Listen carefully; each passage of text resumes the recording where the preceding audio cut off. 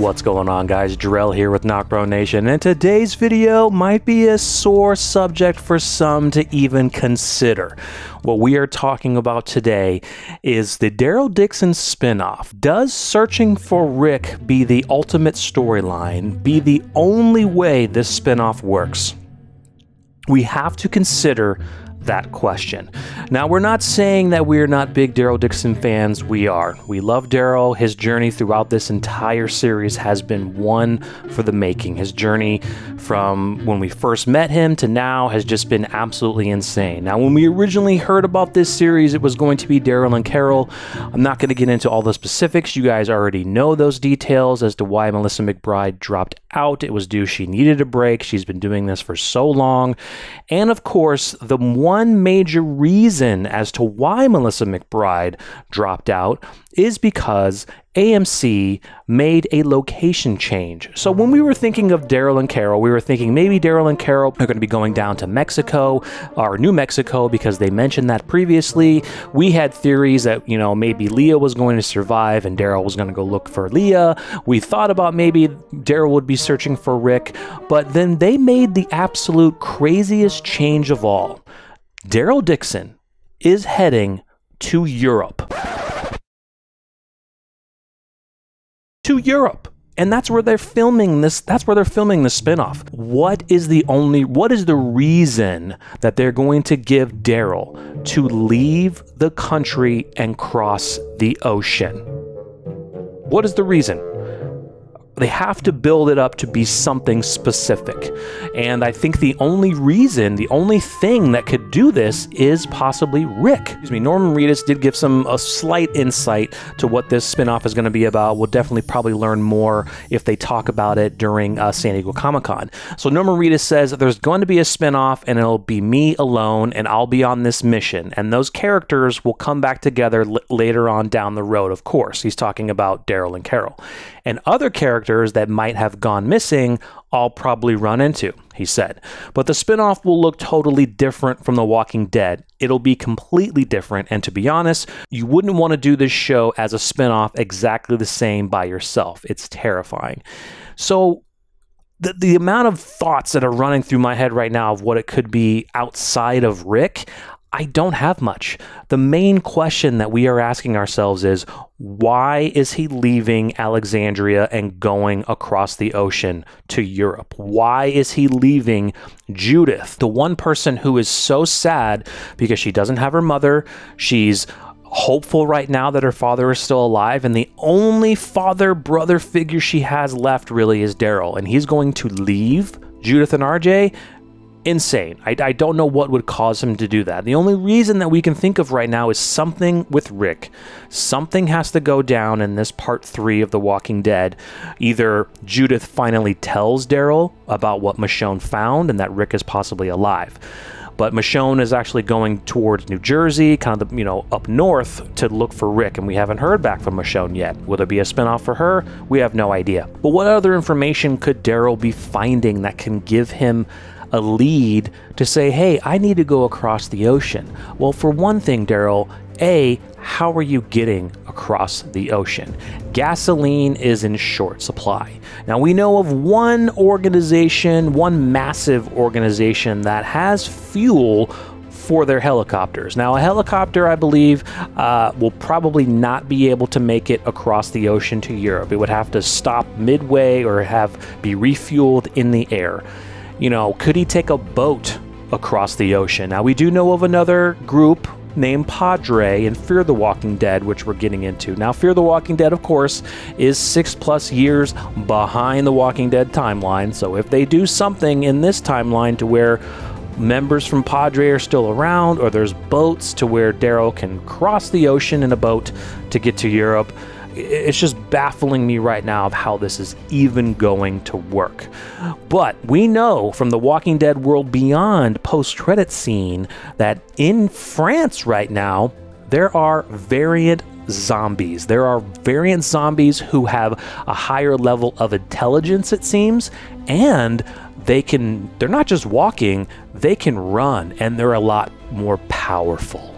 So Could Daryl be going over? Could Europe have this spread of variant virus where the walkers are actually runners now and they're highly intelligent and, you know, even stronger? That's going to freak everyone out.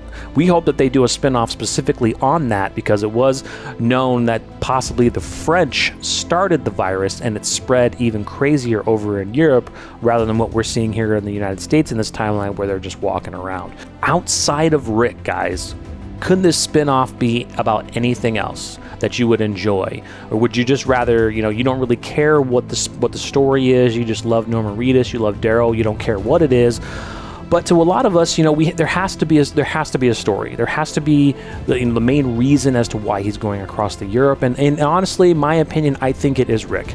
I think that you know Rick right now has been gone over a decade in the Walking Dead timeline. So would we assume could we assume that okay rick grimes has just been in philadelphia this whole time in the crm headquarters for 10 years? Yeah it could work because the crm isn't going to let him go. But what could also really work for rick is that he's been across the ocean for a number of years. He's in europe and he can't easily make his way back across the ocean to get back home. So daryl finds some lead. He makes his way over to europe and that's the spinoff. But guys, there's still a sad end to this spinoff because a we don't know how many seasons this is going to be, how long it's going to be. If it's going to be, um, it's not going to be like you know uh, Fear the Walking Dead's webisode, uh, you know, uh, Dead in the Water, where it was six webisodic type episodes where it only lasted an hour. I think this is going to be an actual spinoff, probably six to eight episodes at least, maybe a season, maybe two seasons. But if they are still going to be doing these Rick movies, you can't have Daryl. Uh, I mean, God, because Rick is not coming back in the main show. I mean, that's what we really wanted. We wanted Rick to come back at the end of this season, at the end of the, the final season of the series, and then tell the story in the Rick movies all the time, all the years that he's been gone to what brought him back.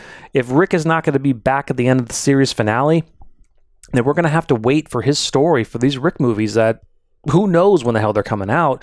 But Daryl isn't, I think right now, he's, he's not going to find Rick over in Europe. He's not going to find him and then bring him home because they're going to have to do even more stuff onto that. They're going to have to we're going to have to put out a Michonne spinoff to tell that story. Like basically they're going to have to make this almost like the Avengers. We're going to have, you know, we have the the main Avengers movie where everyone is together. Then we have these other movies to tell the other series plots that tie everything together to come back into one. Well, the Walking Dead series is ending. Um, you can't really do that now.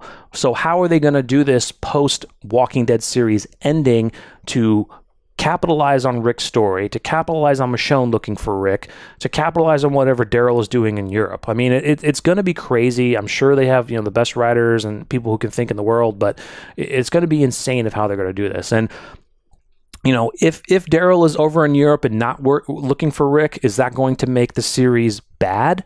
I can't say that right now. I, I don't know, but I honestly think that in my mind, the only way to make this series work is if he is looking for Rick, because what would what else would make him leave and go to Europe? I mean, there there isn't that many things that can make him go to Europe. Daryl doesn't have Daryl has the only friends he has in the world right now. He doesn't have any friends or family outside of this that he would go searching for.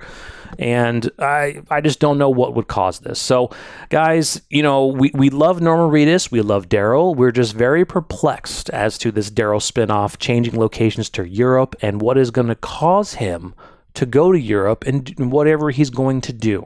So I want you guys to go into the comments. I want you guys to let us know your thoughts of this Daryl spinoff. What would cause Daryl to go to Europe other than Rick, other than searching for Rick. I want some I want some good opinions from you guys. I want to see both sides of it. I want to see what you think about him going to search for Rick, whether he's going to find him by the end of the Daryl spinoff or if we're going to have to wait for these Rick movies. Or do you think this series is going to be just him on his own doing his own thing and something else brings him over to Europe to do his spinoff. I want to see both sides of this, guys. I definitely want to see your opinions, and we'll definitely talk more about this.